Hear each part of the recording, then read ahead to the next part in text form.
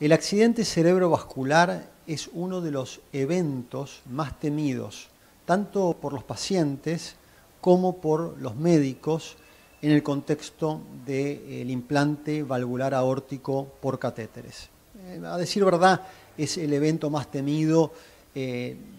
ya naturalmente o, que sea como resultado de cualquier tipo de intervención. Eh, y durante el TAVI es un episodio que puede ocurrir y por eso se le ha puesto mucho énfasis en, el, en los dispositivos y en las técnicas para reducir este riesgo. Ya viene demostrando el TAVI su eh, incluso superioridad en lo que es mortalidad en estudios randomizados cuando se compara con cirugía por lo menos a dos años de evolución. Lo mismo que también eh, se ve una reducción en estos metaanálisis en la tasa y reducción del accidente cerebrovascular. Sin embargo, esta complicación sigue siendo una, complicación muy temida. Fíjense cómo estos adelantos en el TAVI han eh, disminuido parcialmente la cirugía de reemplazo valvular y van incrementando en forma exponencial, estos son datos de Estados Unidos y estos son datos del Instituto Cardiovascular, cómo la tasa del TAVI se va incrementando con el paso de los años, y estos son los últimos 10 años de evolución del TAVI, con eh, reducción del riesgo de lo que sería mortalidad, llegando a prácticamente 0% eh, en el último año. Es decir, que la práctica va mejorando. Sin embargo, es una práctica que tiene aún algunos déficits y algunas debilidades. Algunas de ellas, como las dos que se ven aquí arriba, está relacionado con el tamaño del anillo, en lo que sería un mismatch o un gradiente residual, o en la fuga perivalvular como algo más frecuente. Pero la tasa de marcapasos también es una complicación, pero el accidente cerebrovascular y las complicaciones vasculares siguen siendo una complicación. Que a pesar que a, medida que fueron pasando los años fue disminuyendo en forma lenta y paulatina, es cuando comparamos con la tasa de accidente cerebrovascular de una angioplastia, como se ve aquí, 0.15% contra 2.4% en lo que sería una TAVI, bueno, esto está incrementado por 20 veces, es decir, que esto es un riesgo eh, muy temido. Cuando vemos la tasa de accidente cerebrovascular ya medida por neurólogos con imágenes, incluso este evento es más frecuente, llegando a alrededor del 4 a 5% de los pacientes que sufren algún evento cerebrovascular durante el TAVI.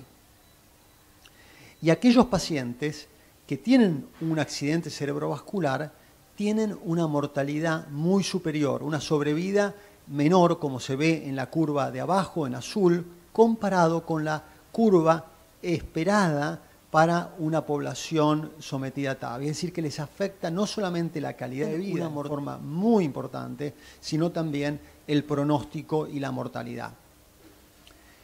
Los momentos en que van va a ocurrir el accidente cerebrovascular es de lo más variado, pero mayormente durante el procedimiento es donde más se pueden detectar estos episodios. Luego hay una tasa de accidente cerebrovascular mm, menor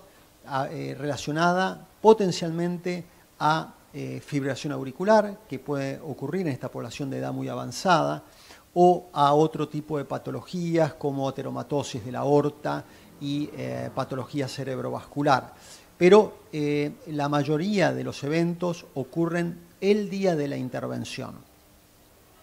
Se han desarrollado múltiples dispositivos para proteger al cerebro durante el implante valvular aórtico,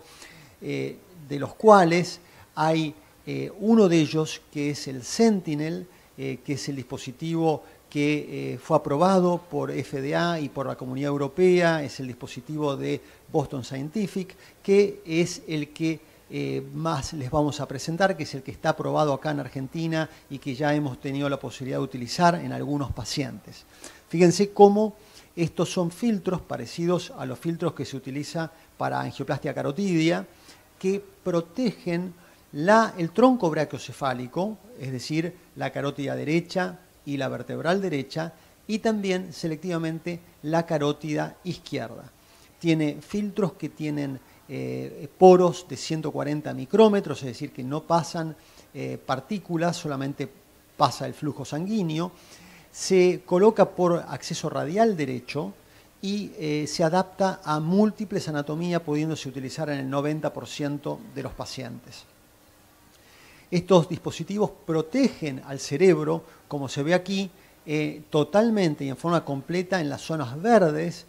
parcialmente en las zonas amarillas y la única parte que queda desprotegida es una pequeña parte eh, relacionada con la eh, irrigación del lóbulo occipital izquierdo. Siguiente vamos a, ver en estos filtros cómo se ha capturado en estos eh, estudios que se ha realizado, se han capturado material en el 99% de los filtros. Y las partículas tienen diferentes tamaños, siendo algunas de ellas eh, particularmente peligrosas, las que tienen más de 0.15 eh, milímetros de dimensión. Y el material es también muy variado. Puede ser material eh, cálcico proveniente de la válvula, placas de colesterol provenientes de la aorta o de la misma válvula, miocardio, eh,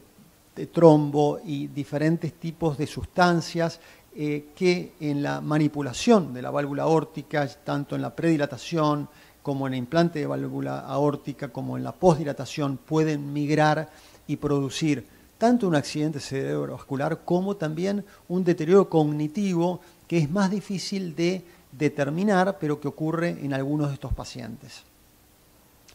Estos eh, dispositivos han sido probados y por medio de metaanálisis, uniendo varios ensayos clínicos, se ha podido demostrar una disminución de las lesiones encontradas en la resonancia magnética. Es una reducción que está prácticamente en un 50% de eh, reducción de este tipo de episodios. Eh, que esto se traduce, en definitiva, a una reducción marcada en la tasa de accidente cerebrovascular, como se ve en este estudio, que es el estudio que eh, la FDA aprobó en Estados Unidos, con una reducción del 60%, e incluso en este metaanálisis, cuando se ve la unión de muchos ensayos clínicos, que se ve una reducción del accidente cerebrovascular cuando se suman eh, muchos ensayos clínicos, esto eh, tiende a ser positivo. En los metaanálisis de protección cerebral muestran también una reducción de lo que sería muerte y accidente cerebrovascular relacionado al stroke. Para ver qué es esto, este es un paciente, uno de los que nosotros tratamos, que ahí ven un catéter con, que es más redondita la punta, que ingresa por la femoral, es decir, todavía no se manipuló la válvula órtica. El otro catéter que están viendo allí ingresa por la radial derecha y eh, luego se puede deflectar este catéter, como lo ven ahí, que se va como mirando para arriba. Ya el filtro está colocado en una de las arterias. Luego el, el dispositivo este se ve como sube la cuerda, que ahí la ven subir, y luego ya se coloca el filtro y podemos ver ahora ya en esta última angiografía cómo ya está el cerebro protegido para poder comenzar con la intervención. Y esto es una práctica muy sencilla de realizar, mm, el dispositivo es fácil, eh, pero hay que hacerlo con eh, entrenamiento, con el equipamiento adecuado. En conclusión, eh, este tipo de dispositivos tiene una evidencia creciente a favor de una protección cerebral durante este tipo de intervenciones, captura eh, debris de, y, partículas en el 99% de las veces, tiene, ofrece una reducción de 50% en lo que sería volumen de imágenes isquémicas en la resonancia magnética, con una reducción del accidente cerebrovascular muy marcada, eh, que se ha visto en diferentes metaanálisis, con un NNT, es decir, la cantidad de pacientes que deberían ser tratados para salvar un evento es de 22 y es un procedimiento muy seguro, con muy baja tasa de complicaciones,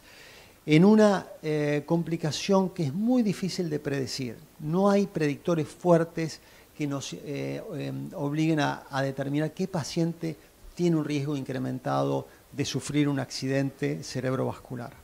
Muchas gracias.